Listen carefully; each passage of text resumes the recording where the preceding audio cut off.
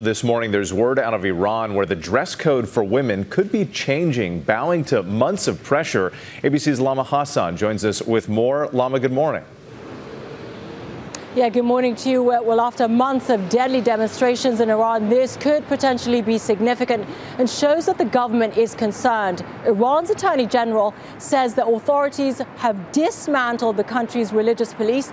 They are the ones who enforce the Islamic dress code, and that includes the law that requires women to wear a hijab and cover their hair. Parliament and the judiciary are also reviewing those laws, but it's unclear at this point what and how much will change, if anything at all. What is clear is that wearing the hijab is still mandatory, but the religious police who are tasked with enforcing it will no longer be in charge of doing that for the time being.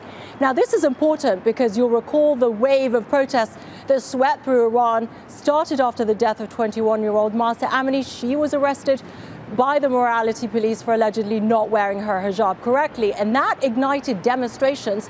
They were led by women risking their lives, going out in force on the streets, ripping off their hijab and cutting their hair. And worldwide, we saw acts of solidarity. Now, one Iranian official says 300 people were killed, but observers say that that number is much higher. Protesters say this latest move to get rid of the morality police is not enough.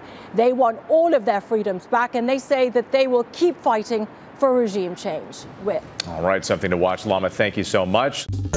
Well, hey there, GMA fans. Robin Roberts here. Thanks for checking out our YouTube channel. Lots of great stuff here. So go on, click the subscribe button right over right over here to get more of awesome videos and content from GMA every day, anytime. We thank you for watching, and we'll see you in the morning on GMA.